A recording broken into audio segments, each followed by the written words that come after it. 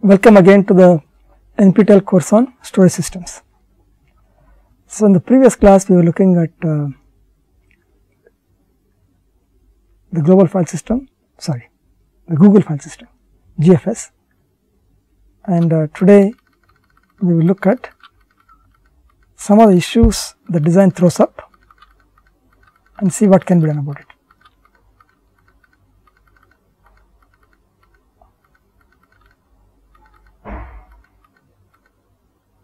Okay. So, as I summarized last time, this is one of the largest file systems probably still today I think it might be the largest. Okay. Hmm. So, of course, they have moved to a slightly different version of this uh, GFS. Sometimes that's called GFS 2, sometimes called Colossus, I do not know what the, the various names are there. Okay. So, it is still uh, living on in a slightly different form and uh, as we discussed before it is not POSIX. And one critical thing about how without POSIX it is still okay is because they have ensured the applications are redesigned. And the way they do it is by using additional infrastructure on top of this and the infrastructure one important infrastructure piece on top of this GFS is something called the big table. Okay. We will look that at that thing a bit we will not go too much into detail because it is closer to application level ideas, but we will take a quick look at it to see what all it does and how it fits with the general GFS model. Before that we will take a look at what are the problems with GFS. So, what is the issue about uh, what are the issues with GFS? First of all, the design says high sustained bandwidth more important than low latency and basically designed for batch oriented applications such as web crawling and indexing. So, this was a critical need in the early 2000 or late 1990s, but now what has happened is that Google has come up with other applications like Gmail or YouTube etc. These are closer to real time, especially since Gmail is a there's a lot of user interaction. It is absolutely critical that there has to be some low latency also is an important issue. So, if you try to run Gmail or YouTube on top of uh, GFS, you might get into problems. Okay, we will see what kind of problems are there. Okay, first of all, because of this kind of newer applications, the developer base has moved from batch oriented frameworks like MapReduce to interactive applications.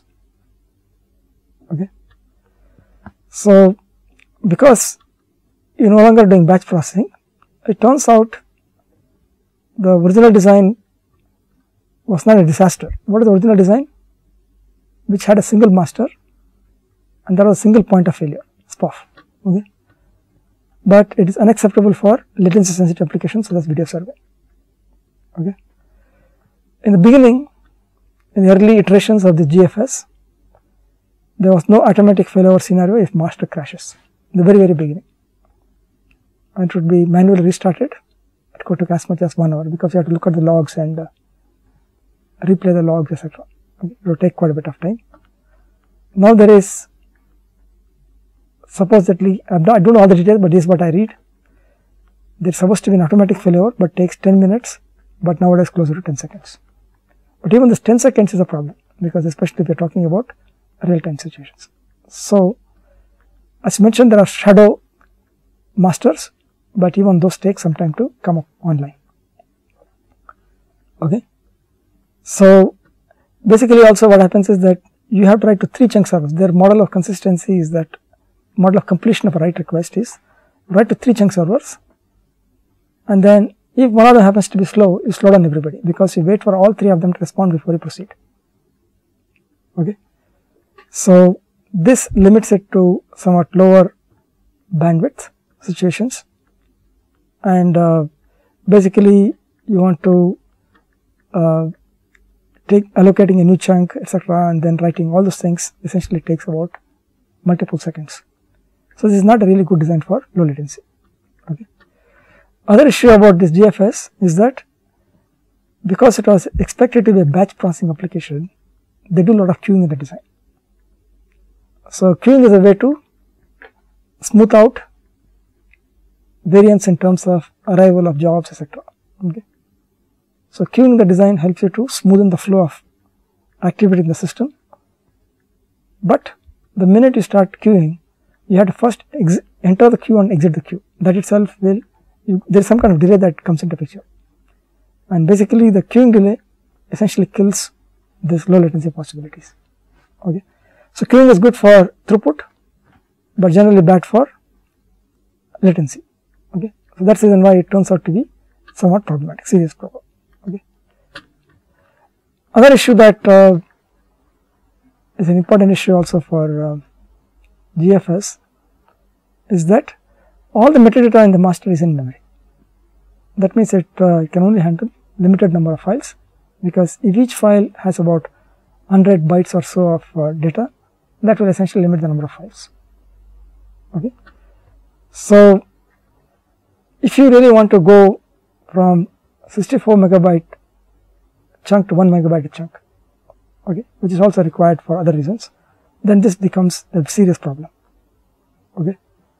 So, in the beginning the design was tens of terabytes or more, but now it is hundreds of petabytes. I am told that it is certainly crossed 100 petabyte. Okay. So, with hundreds of petabytes, the amount of memory required for uh, the master has, is crossing about 100 gigabytes plus. Okay. So, this also is a an issue. Okay. So, if you have a single master, you do not have parallelism because you cannot, if there is uh, doing some scanning, recovery, etc., this single master turns out to be a problem also. Okay. Same thing when you have multiple map reduce clients, you will find that uh, metadata serving also becomes a problem. Okay. So, the, the early generation of GFS would do thousands of operations, but people want to do at least one or two orders of magnitude higher. And so, having a single master is a problem. So, having shadow masters like was designed earlier as we discussed earlier is of some help. Okay. But as we discussed before the shadow masters are slightly behind with respect to updates of the of the master. Okay. So, other issue is that nowadays there is an impo uh, important requirement that if you have a new page you design and put it up on the web, you want people to be able to see it fairly quickly. Now, the batch of operations does not allow for large scale incremental processing using uh, distributed transaction notifications. Basically, what happens is that you are limited to your batch processing which can take about a day or so and therefore, the freshness of web result also becomes a problematic thing. So, what you really need is every time a new page comes online, you want to be able to somehow get some triggers that something new has come in and using the trigger you want to be able to do some uh, incremental work and put it up onto your this one so that you have freshness of the results. But having this batch kind of model does not really help. Okay. So, the batch is basically a, a killer for this kind of issues. So, nowadays Google has gone uh, has attempted to address this problem systematically. I am now told that if you put up a web page, it can be available to you within tens of seconds or hundreds of seconds, I do not know what the number is. They say that it can be made available as a result in the web search, okay, precisely because they can do incremental processing. Essentially, they have some kind of triggers which tell you that something has uh, been added to it and they immediately go and crawl it and index it immediately, okay. So, um, instead of multiple hours, it is now closer to let us say minutes or tens of minutes, okay or sometimes they say even tens of seconds, okay, which is a remarkable thing which is not possible with batch processing. So, we have to do something else. Other issue is we already looked at the consistency issues. So, I think we have gone through some of these uh, aspects. We know we see that the clients keep on pushing right until it succeeds, right, because you have to write to three places some of them can fail, you declare that if any one of them fails, you redo start from beginning, okay, keep on pushing it till it happens. But if you have client failures, then it causes indefinite state because there is no client to push the write. Okay. So, again similarly there is record append interface I think we discussed it for multiple writers you want to write to a log concurrently but what can happen is the primary itself can change as the write is going on because of failures. So, primary selects offset to write primary can change and new offset is taken okay. So, therefore, record append does not offer any replay protection some piece of data multiple times in the file or data in a different order depending on how the new primary schedules the writes okay because it the new primary decides how the various concurrent write operations are going on okay. So, therefore, it is possible to have multiple the data in multiple times in one chunk replica, but not in all on all okay. So, so if you read the data data can be available in different ways at different times. So, application has to work around these things okay, which is which is a big issue. Same thing at record level records in different orders depending on which chunks are read. Okay. So, there are some of these issues originally it was thought that all these things can be handled somehow, but as people started writing applications newer applications this turned out to be a issue big issues that had to be resolved somehow. Okay. And the system also had some other issues like uh, snapshotting which is a long running which takes a long time. And uh, so snapshot in general is a very difficult operation. As we noticed you have to take back the leases you have to wait for all the leases to come back all kinds of things that. Kind it takes time okay? So generally a snapshot in any file system is difficult. And uh, they had uh, provided this functionality so that you can replace a replica or whenever a chunk server goes down we need to replace its files. Basically have a snapshot so that you can repopulate it very quickly okay? But this turns out to be quite uh, complex and this has slowed down or created difficulties in other parts of the system okay? So so what are the solutions to this kind of problems?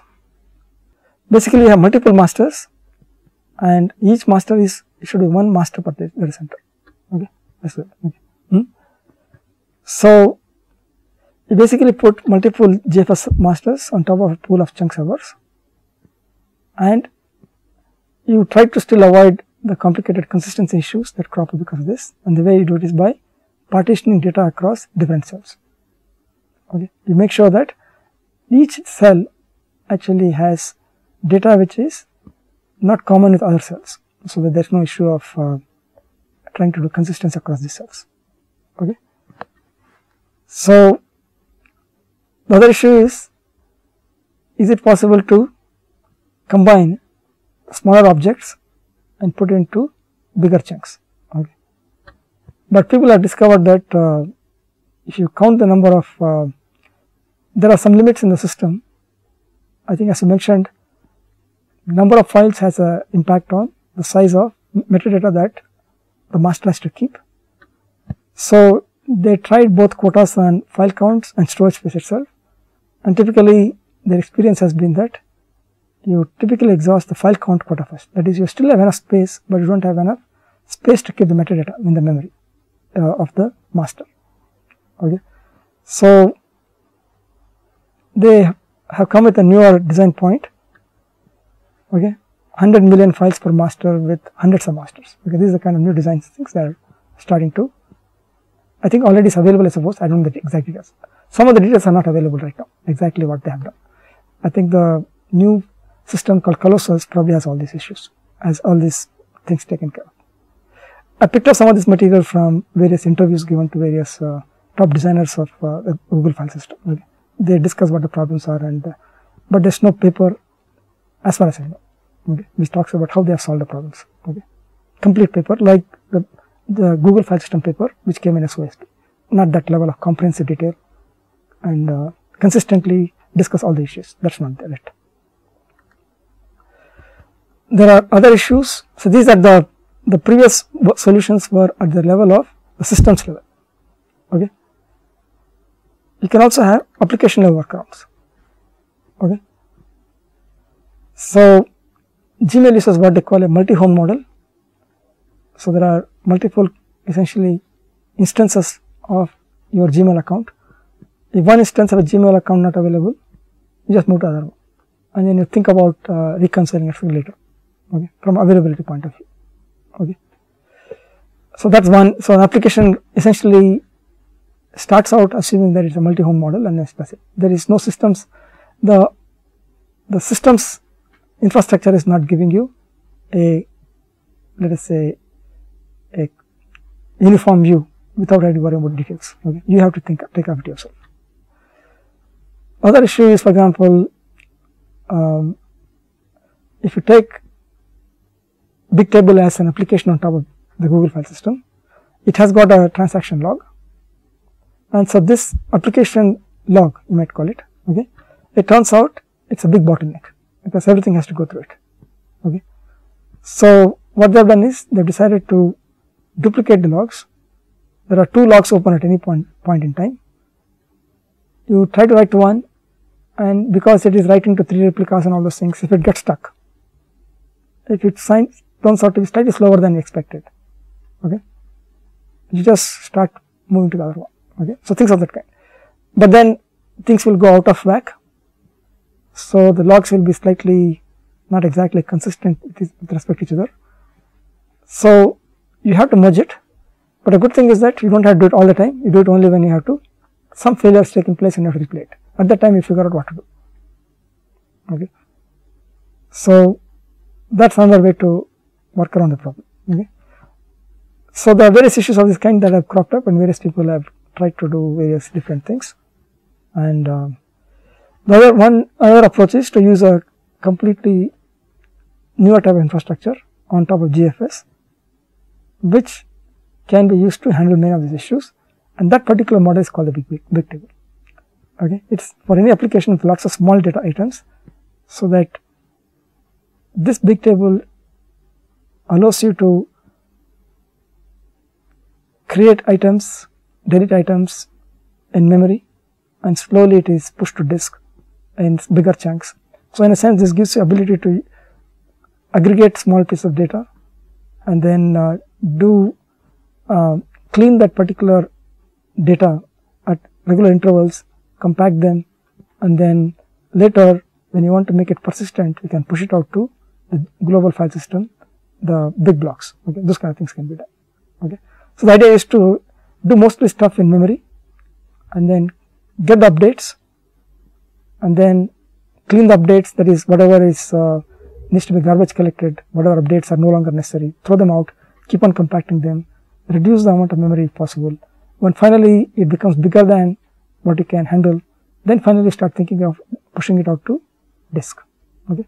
And finally GFS there is now there in that picture. Okay. GFS will essentially storing it persistently. Okay. So, let us just quickly look at Bigtable. Is a structured storage system with many key value pairs and a schema. Okay. So, this is for used for web indexing or things like Google etc. Essentially, to put it in a slightly different way, it is a sparse distributed persistent multi-dimensional sorted map. Okay. So, essentially this is what is often called a key value store okay you have a key and then there's a you give the key and look it up. Look up the table. Okay?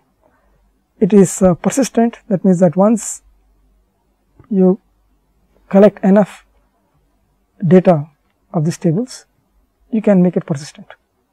Okay? And it finally is going to be stored by the google file system. Okay?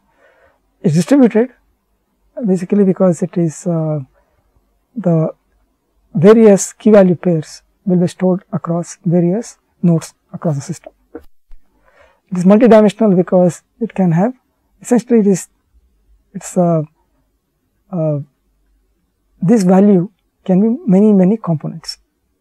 You can call it multiple columns. Okay, so you can take the key as the representing the uh, one row and the value being multiple columns. Okay. So, essentially it is like a table, just like a, a table with many, many rows and many, many columns. And uh, each this particular map is indexed by row key and uh, and a column key and a timestamp. Basically, the timestamping is used so that you can have multiple versions of the same piece of information and you always keep the most recent information accessible the, the earliest. Okay. So, the later ones you have to take some trouble to traverse the list. Okay. And to make it as general as possible, each value in map an un uninterpreted array of bytes. Okay. Just like for example, like the way Unix also treats files, it's uninterpreted set of bytes, same, same thing here, anything can put in, okay. there is no structure there. The only structure we have is that it is a sorted map and it is sparse distributed multidimensional persistent structure. Okay. So, for example, so what big table essentially you can summarize as follows.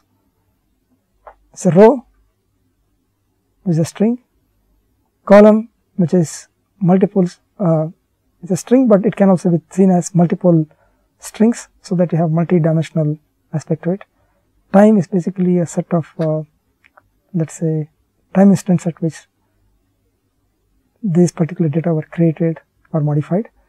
And uh, it's int 64 so if you want to um, it's your business to make sure that this is different from every other time instant so okay, it's you have to ensure that this real you can use real time but if real time happens to be at the same time for example then you have to find some way of achieving it. Okay. so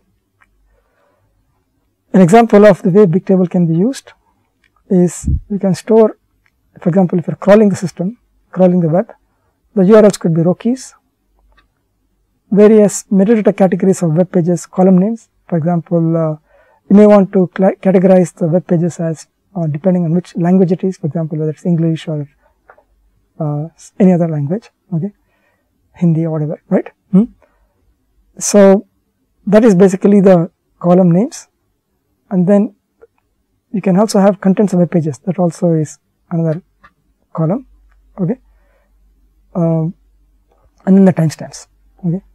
So um, and all the data is usually kept in lexicographic order. Okay. By row key. Every read or write of data under a single row key is atomic. Okay. In spite of the number of columns etc. Okay. So, one thing that we guarantee is that reading writing of it on a single atomic row is atomic. Okay. They do not say anything about what happens across rows, but a single row is what they guarantee. Okay. And you have to figure out your application has to figure out how to get their job done with this particular guarantee. Okay. The first important thing to know is that this big table is essentially a storage design, it is not a database design, okay. it is not a relational data model. Okay. Basically, the understanding is that databases have problems of scalability, serious problems of scalability. They cannot cope up to this kind, the kinds of uh, demands that current web etc. places. So, the idea is not to go with a relational data model and uh, and it provides clients with a simple data model that supports dynamic control over data layout and format. Okay. So, and the way that is done is by what we just discussed already. We have a set of rows, set of columns and we just have a key value pair kind of model. Okay. That is basically a simple data model. Okay. And uh, it allows clients to reason about the locality properties of storage represented in the underlying storage. Okay. So, essentially they can the, clients can dynamically control whether to serve data out of memory or disk. All these things are possible. Clients can control locality data through careful choice in the schemas. They provide enough control so that the clients can figure out the issues with respect to locality. Okay. So, the data can be data is indexed using row and column names that can be arbitrary strings. Okay. Again, as we said before, it treats data as uninterpreted strings, but clients can serialize it into various forms of structured and semi-structured data onto these strings. Okay. basically in some sense you decide how you serialize the data as a string. Okay. It's up to you. Okay. But they just so I think similar again to the way the Unix file system does it. Okay. Anything in a file it's your business how to make it as a set of series of bytes and it's under your control. So it's essentially some kind of Unix kind of model. Mm -hmm. row range for a table dynamically partitioned. Okay.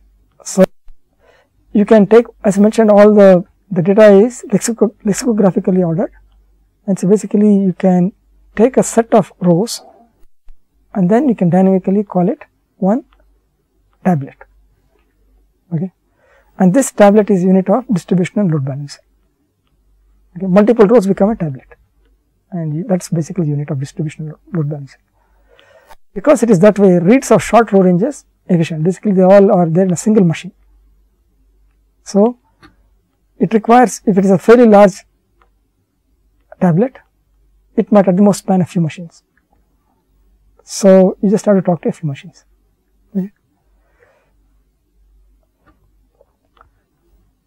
clients can select the row keys for good locality of data accesses again client is given complete control about how they can order things okay for example if you are storing web pages the way you can do it is to get locality is to reverse the URL. If you reverse the URL, the last component is basically the site name, right? And therefore, you can um, use that as uh, basically pages in the same domain grouped together. Okay. So, for example, if your website is x.y.z, okay, you make the name as z dot y dot x and z dot basically is the you might call the major uh, let us say organizational boundary and therefore all those pages will be connected probably similar in the same place okay. So pages in the same domain grouped together okay by reversing host name components in the URLs. So again this is all up to you because system, nobody is telling you that this the way it has to be done. The clients can design all this. So another thing that they have is what they call column families. Column keys grouped into sets and basically this is uh, the, family and the qualifier. For example, family could be language okay. And good thing about this is that all data stored in a column family typically same type and probably they might even have same type of data also. So, it turns out because of this you can compress data in the same column. If you compress them in the same column family together you get much better compression ratios. For example, in one column you may have some names. It is very likely that there is a lot of uh, commonality in the names. So, if you compress a group of columns in a column family, there is going to be a lot of possibilities for compression. When across rows, usually the rows will have columns from disparate types of objects and therefore they will not at all. Okay. So that's also one reason. Okay. So um, the number of distinct column families is small, but a table may have unbounded number of columns. Okay. Number of columns may be quite large, but column families that will be reasonably small. Again big table uses our infrastructure as we already looked at as we already seen it uses definitely GFS. It is also something also called Chubby. Okay. First thing to notice is that GFS provides only two basic data structures logs and what they call SS tables. Okay. And they also have something called protocol buffers. We are not really going into details, but basically the idea is that uh, if there is some understanding about how to specify how data is structured, then there is going to be less effort at transforming one type of data type into some other type of data as required. Oftentimes this take a lot of um, computation, memory and energy. Okay. And uh, for example, I have a data format. It could be one form in Java, it could be some other form in some other language. And every time you move it's kind of boundaries, application boundaries or uh, system boundaries, you may have to convert it from one type of format to another type of format. And it, it once you start doing it systematically, the inefficiencies start mounting seriously and you will find that there is going to be a lot of uh, performance loss. So, one thing they have tried doing also is have at application level some idea about how you structure the data and the name they are given is something called protocol buffers. Essentially, it actually should be called a data description language. Okay. It tells you how the data should be uh, described, possibly on things like how it is uh, different systems will have different ways of padding other things. In spite of all these things, they should be accessed in a uniformly same way and avoid as much as possible the conversions from one format to another format. Okay. So, basically what happens is that uh, you are transferring data from one system to another system using this kind of protocol buffers and these things are finally ending up in logs or what is called SS tables and these things are persistent persistent. But while these things are being um, um, they are persistent, you need to keep them in memory as they are being constructed. That is where the uh, big table and GFS come to picture. The SS tables are immutable that is once you have figured out that you want to store that amount of uh, logs that have been created because of changes in the system. Once they cross a certain boundary and it can be easily returned to one chunk for example, then they become immutable. Okay whereas Bigtable is working on in memory and it will give you the storage that can be changed because you can you can add a row, delete a row, you can remove a column, add all kinds of things you can do, right. So, those th all the things operations will be done in memory and once all the changes logs etc correspond to these operations, you want to make them persist then they finally go and reside in the GFS kind of GFS. Okay. So, Again, if you think about the division of labor, you see that GFS provides this something called SS tables, these are immutable, means they're persistent and either you uh, read them completely into memory, change it and then write it back. Essentially, you might say it's equivalent to doing read modify write operations and that's why they're calling it immutable. You can't really change it. There's no API by which you can go and say into a, uh, a chunk, change this part. Okay, you have to get into memory and do something with it then you write it back fully. Okay. Well, Bigtable provides mutable key value storage. Okay. So, essentially what is happening is that any incoming data is stored into transaction log files and then as you proceed in the system some of those changes might you know uh, they might have to be thrown out okay you can essentially say that some of the changes are let us say obsolete, you can throw them out. So, basically you can compact them again, okay. And then you keep on doing it. Finally, once you find that you are running out of memory etc., you want to store it persistently, then you push it out to GFS, okay. This is similar to a log structured file system. In a log structured file system, what you do is you, there is no uh, home locations like in a general kind of file system. Basically, all the operations on the file system happen in memory as a log okay and as a log keeps increasing. All the changes are actually stored in memory called segments and once the segments become full you want to reuse that memory for newer types of changes. Then you what you do is you clean them. You clean those segments so that all the obsolete changes that no longer needs to be kept around. For example you modified a file 3 times. So, the intermediate changes need not be stored, okay. they can be thrown out, you just have to keep the last one. So, you can clean them and then write back to disk. And the idea there of course, is that once you accumulate a megabyte or a few megabyte kind of changes logs, you can write it in efficiently. You can write those long bigger chunks of uh, writes fairly efficiently. That is what log structure file system does. So, here also we do the same thing. Okay. So, the big table provides the mutable key value storage, you accumulate the changes in the form of logs and then the logs when they become, you clean them now and then so that you can uh, memory more effectively. But once you have come to a stage where in spite of cleaning etc., it is growing beyond the size that you want to keep in memory, then you start pushing it out to disk and the way you do it is to send it out as chunks to GFS. Okay, that is how GFS and Bigtable work together. Okay. Other thing that uh, the system uses is something called Chubby, which is basically a highly available and persistent distributed lock service okay, and uses Paxos. So, it has got 5 active replicas with an elected master to actively serve requests.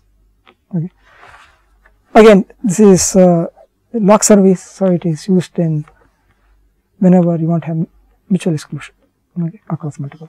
For example, you want to make sure there is only a single master, then you use a lock the Chubby. Okay. So, what are the things that uh, Bigtable provides? It creates, uh, it can, you can create and delete tables and column families.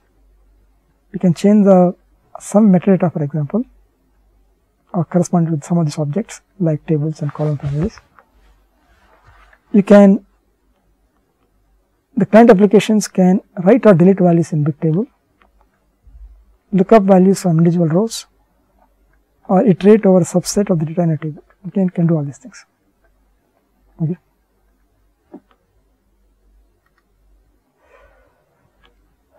And various ways you use the system is that single row transactions to perform atomic read modify write sequence okay the single row is possible.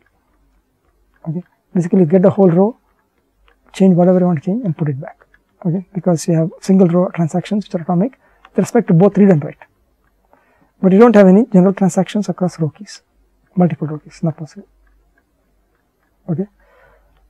They also have some additional uh, features basically they are able to do read only memory maps from what I can understand.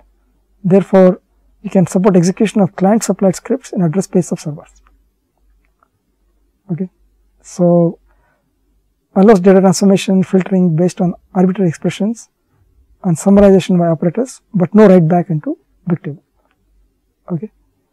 So, I think from what I can gather from this is that there is some kind of memory map is available on uh, the intermediate memory structures and they can be used as a way to um, do everything in memory, but you can't write to Bigtable, you still have to go through the sequence I mentioned earlier that is basically this sequence, go through SST tables and then make it persistent. Okay. So, that is the only way to write it back to Bigtable, is to GFS. Okay.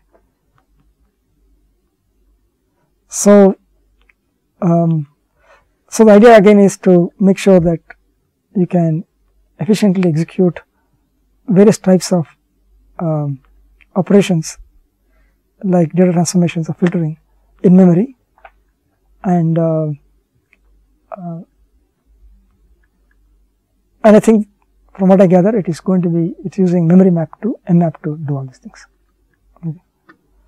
Other thing that they support is they have some various facilities so that map reduce jobs can be supported well. Okay. Basically, this big table can both be an input source as well output target for map reduce jobs. Okay.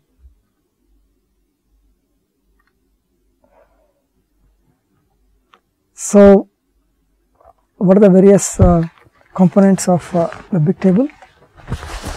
They have uh, three main components a library that is linked into every client. Again they have a single master server and many tablet servers.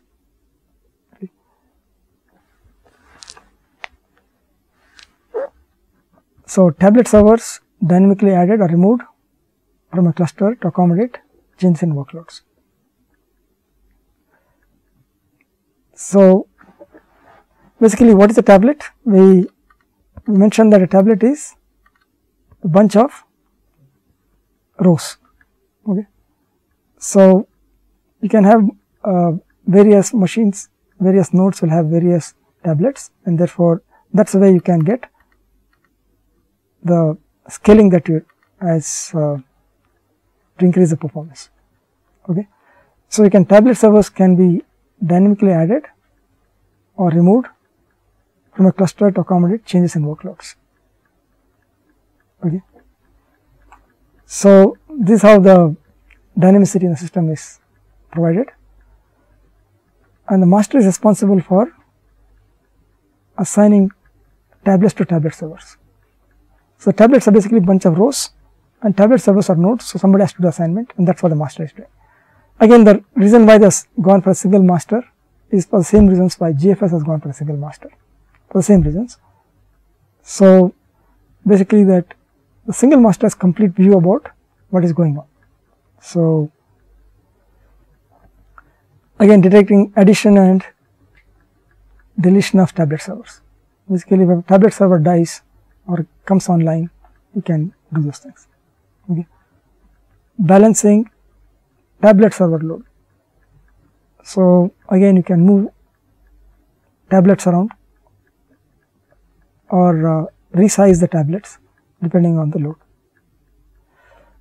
Again even garbage collection of files in GFS is uh, initiated by the big table master. Okay. So, if there is some extreme, if there is serious shortage of spaces etc., some of them can be made to start doing the garbage collection immediately. Okay. So, then other things that uh, um, the master does is also handles schema changes such as table and column family creations. Okay. If you have to add a co column family, okay, then you have to essentially do it for all the rows, right. So, you have to do something, uh, you have to do systematically go iterate over all the rows and do something with it. So, all those kind of things are handled through the master. Okay. So, um, again as I mentioned, the persistent state of a tablet is stored in GFS through memtable. Basically, memtable is the in-memory structure which uh, has all the changes, I think like we discussed here before, right. So, all the um, changes for example, they go into the mem table and this bed and then these mem tables are compacted and these SS tables are created and these SS tables get compacted together over time and they finally get into GFS. Okay. So, what the persistent state of a tablet is stored in GFS through operations on the memory table. Okay. So, okay, I think I am at end of my discussion today. I thought I will take more time, but this is where I am. Okay. So, I think I will continue next time with uh, uh, with further discussions on big bigtable.